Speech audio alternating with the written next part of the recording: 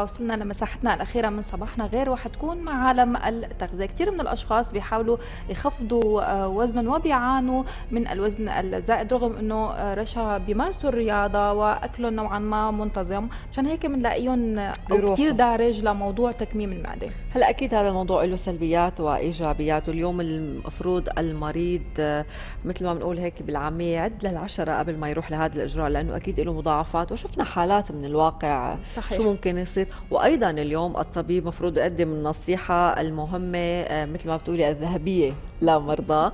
بهذا الإجراء إن كان صح أو غلط. صحيح. شفنا للأمانة بالمحيط في تجارب حلوة كانت وتجارب رجعوا مثل ما كانوا يمكن في ناس رجعوا أكثر من الوزن يلي آه، كانوا آه، موجودين فيه. رح نحكي أكثر عن هذا عن عمليات تكميم المعدة شو الإيجابيات شو السلبيات. مين الأشخاص يلي آه، ما لازم ابدا يقدموا على هي الخطوة. أكيد هي التفاصيل رح نحكيها مع الدكتورة دعاء الخطيب وهي ماجستير في علوم الصحية واختصاصية التغذية. يسعد صباحك. يسعد صباحكم. يسعد صباحك. حلو الطاقة هيك والخضار يسعد صباحكم. الهايبر أكتيف.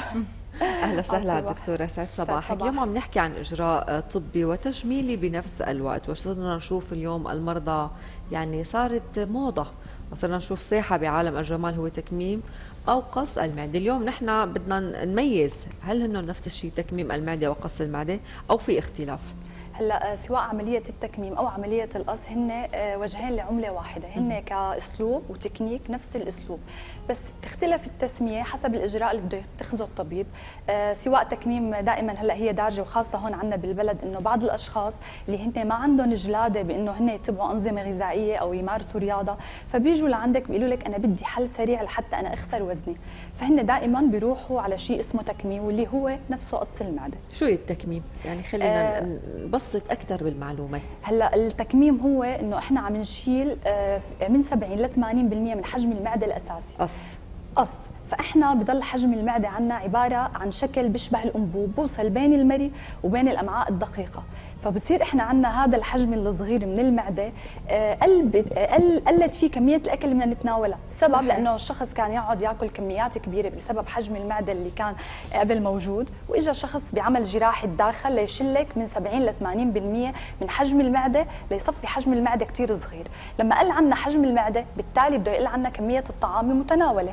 بس قلت كمية الأكل بالتالي بدنا نفقد الوزن عن طريق قلة السعرات اللي صارت تفوت لجسمنا. والتكنيك الثاني اللي بيشتغل عليه أو مبدأ التكميم إحنا عندنا دائما آه، من 70 آه، ل 90% من الهرمون اللي هو هرمون الجوع بنفرز من المعدة. فإحنا عندنا آه، قل حجم المعدة فقل عندنا شعورنا بالجوع.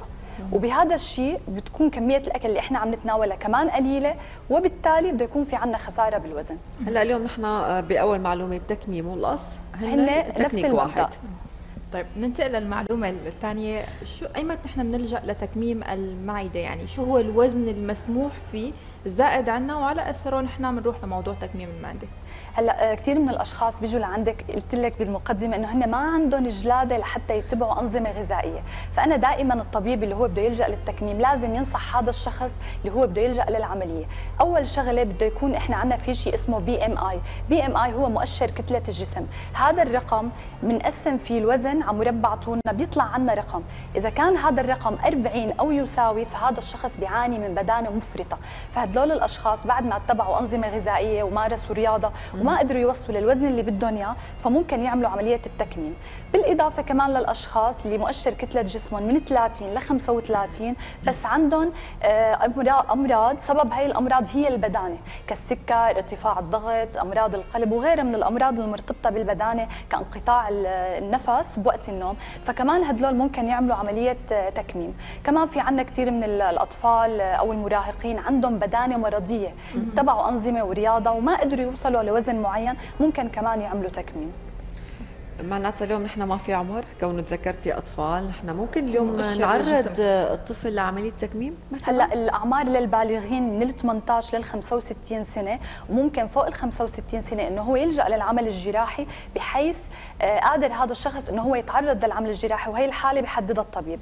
أما بالنسبة للأطفال من عمر ال 13 لل 18 ممكن إنه إحنا آه، يعملوا عملية التكميم وبدي أذكر شغلة إنه هن لو عملوا عملية التكميم موضوع النمو سواء الطول والوزن ما بتأثر بهي العملية. بصير في بضل في تطور بالنمو. تمام.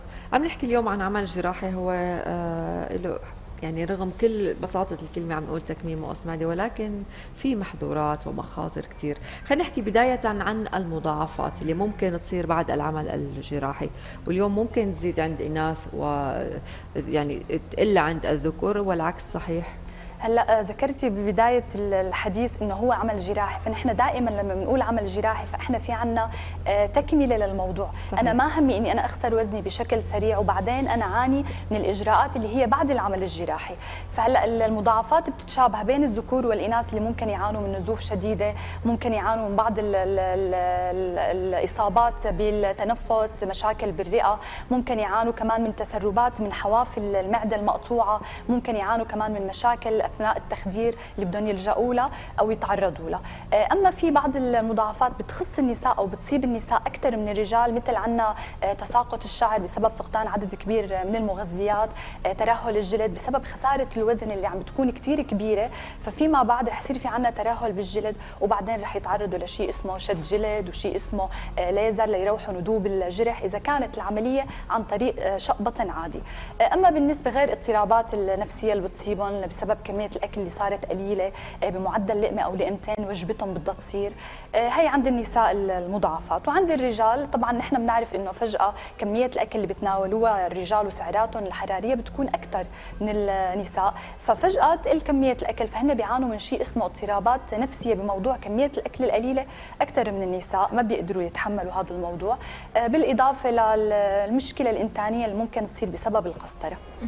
طيب خلينا كونه عم نحكي بقصتنا بموضوع المضاعفات بنلاقي بعض الأشخاص اللي ما عندهم هذا الوزن اللي كثير كبير اللي هن من 6 ل 10 كيلو آه، بيروحوا لعند الدكتور الدكتور بيرفض يسوي لهم العملية. شو السبب؟ يعني شو وين الخطورة بتكون؟ إنه أجسامهم ما بتستحمل آه، العمل الجراحي ولا بيخافوا كثير من موضوع نزول الوزن ليصير أكثر من حده الطبيعي؟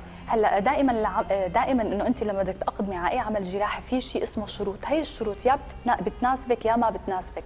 والطبيب اللي هو عم بيشتغل بضمير نصيحة لازم إنه ينصحها للمريض اللي جاي يعمل له فيزيت بعيادته.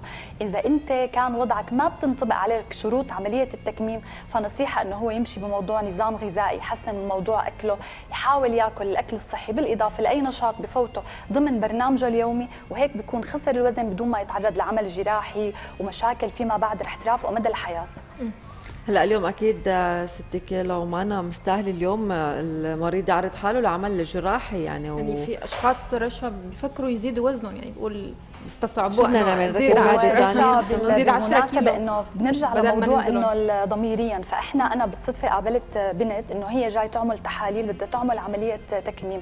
فأنا قلت لها إنه هي تحاليل عملية قالت لي إيه أنا بدي أعمل عمليه تكميم. قد عندها زيادة وزن كم؟ الصبية عمرها 26 سنة آه، وزنها 112 هي بتقول لك إني أنا ما جربت أعمل diet بس أنا فكرة ال diet بحد ذاتها بتعمل لي توتر نفسي. فكرة إني أنا أضبط شو أكلي آه، أضبط هي عندها أولاد صغار إني أنا أشوف أولادي عم يأكلوا ال fast food وجبات الهمبرجر الشاورما أنا ما بقدر أتحمل هيك.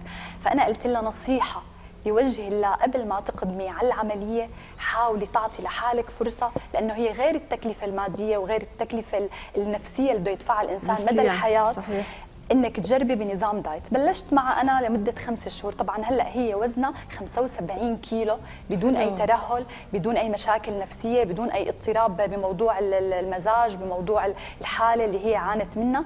بتقلي يا منيح اللي سمعت نصيحتك اللي أنا مشيت بنظام وعطيت حالي فرصة. ممكن لو ما نزلت الوزن اللي أنا بدي إياه رحت على موضوع التكميم قديش نزليتون؟ بخمس شهور. تقريبا 37 كيلو. بالضبط بخمس شهور. وأول شهرين كان عندها ظرف ما قدرت إنه هي تلعب رياضة. فبعد الشهرين كثفنا موضوع رياضة وتخفيف أكل. بس المشكلة الدافع النفسي إنه هي اشتغلت هون. موضوع التكميم بيشتغلوا على موضوع شيء اسمه قص معدة. بس هون ما اشتغلوا إنه هن غيروا لك من عاداتك غيروا لك من سلوكياتك غيروا لك من طريقة حياتك. فأنا بالنسبة لي حكيت لها كلمتين اقنعتها فيهم إنه هي تغير من نمط حياتها ليكون نمط حياتها صح وبعدين ما لقت نتيجة تلجأ لشيء اسمه تكميم. هي خيبة الأمل بتكون بعد هذا النزول ترجع تكسب الوزن مرة ثانية إذا ما حافظت على النظام اللي أنت بلشتي معه. هلأ هو بعد ما إحنا نزلنا الوزن بدنا نلحق شيء اسمه تثبيت الوزن وهي في شيء اسمه تثبيت دكتورة. طبعاً. يعني اليوم حتى الأطباء اختلفوا بهي النقطة. هلا هو ما في شيء اسمه إنه أنت تمسكي الوزن اللي هو 75 وتثبتيه عليه. أكيد لا بس هو إحنا بنحافظ على عاداتنا اللي مشينا فيها آه، وقت النظام الغذائي. طبعا. ممكن إنه أنت تمشي يومين تفكي دايت بس أهم شيء إنه يكون نظام حياتك صحي ما ترجعي لنظام حياتك والأكلات السريعة اللي كانت قبل الدايت. طيب خلينا نختم مع حضرتك بنصائح أخيرة اليوم. ممكن نحكيها بموضوع تكميم المعدة لكل الاشخاص تفضلي. آه مو كل الأشخاص ممكن إنه تناسبهم عملية التكميم. لهيك دائما نصيحتي لأي شخص حابب يغير من حياته وعانى من شيء اسمه تنمر بسبب البدانة وبسبب الموضوع اللي مسبب له إزعاج داخلي إنه هو يعطي حاله فرصة يغير من طريقة تفكيره قبل ما يقدم على شيء اسمه عمل جراحي. بس نغير من طريقة تفكيرنا بصير كل شيء سهل. أكيد. معلومات كثير حلوة ومثل ما قلتي أنت دائما الإرادة وإنه نشتغل من العقل إنه التصميم نحط الهدف قدامنا أكيد حنصل ولكن في حالات استثنائية اليوم عم تضطر لتروح لموضوع التكميم. الصحة والسلامة دكتورة وشكرا كثير لوجودك وحضورك شكرا كثير لكم يعطيكم العافية. شكرا كثير لك دكتورة وأكيد الصحة والسلامة لكل الناس. شكرا, شكرا كثير لكم